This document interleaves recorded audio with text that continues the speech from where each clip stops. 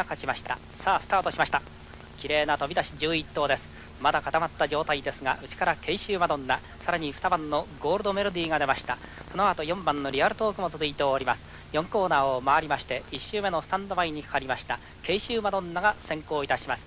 2番のゴールドメロディーが2番手。これを追う形で4番のリアルトークが3番手におります。後ろ4番手には6枠の島朝日が続きます。中段の5番手がロジータの位置です。あとはその飯岡早漏がおります。後ろに8番のクイーンスワロー。その後には7枠のひまわりロマン。外を回りまして11番の峰のダイヤナが続きまして今第1コーナーを各馬きれいに回ってゴールまで 1000m 標識を通過しました。先行は1番の慶州マドンナ。現在3連勝と絶好調の川崎の慶州マドンナ先頭です。これを追うのが地元の2番のゴールドメロディー沢半馬身です。川崎のリアルトーク3番手に続いております。あと船橋からは7番の島朝日が4番手。その内側の方に9 9番の飯岡ソウルを外からはこれも地元の6番のクイーンスワローこの辺りが仕掛けて早めに行きました。向こう上面の中央その前の先団のグループからちょっと遅れまして5番のロジータ現在重賞2連勝中のロジータは満を持して前の方へと今上がっていきました。3コーナーカーブにかかってまいりました。400の標識を通過しております。